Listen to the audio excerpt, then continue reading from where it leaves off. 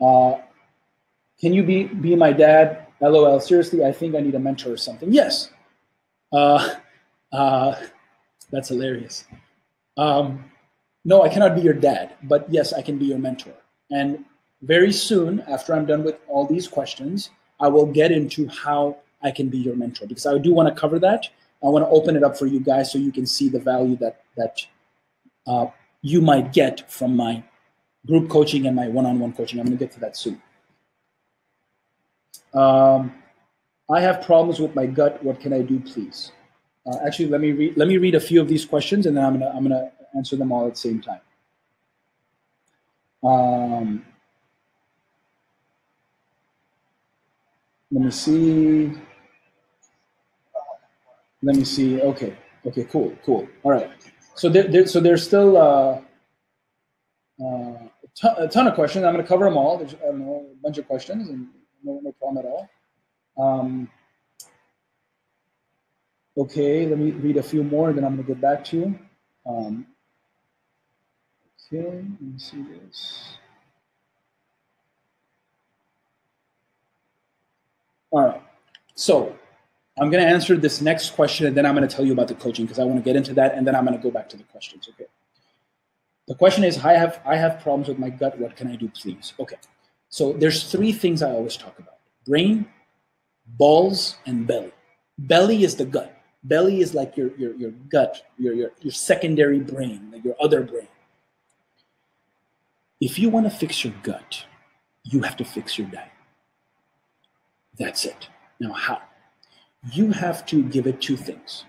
One, you have to give it prebiotics. These are the things that help your stomach digest food.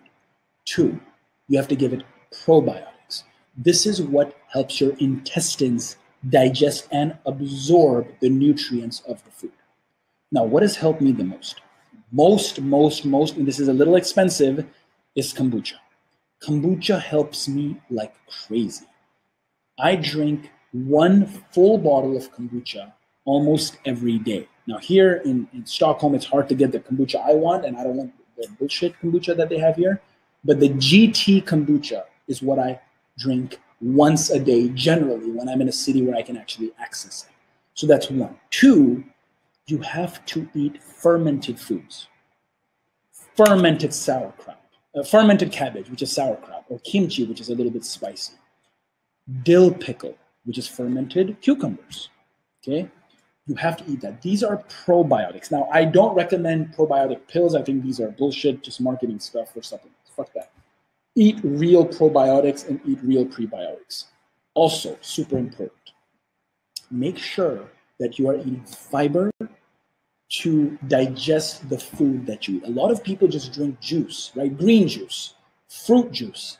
No, if you are going to drink juice, have some fiber on the side with it because some people just love the taste of juice, as do I.